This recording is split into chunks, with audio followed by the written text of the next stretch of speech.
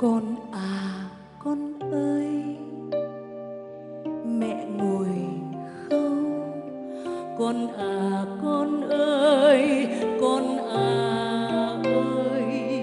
Ơi, nồi khoai chín, thơm chiều đông. Ơi, dòng nước mắt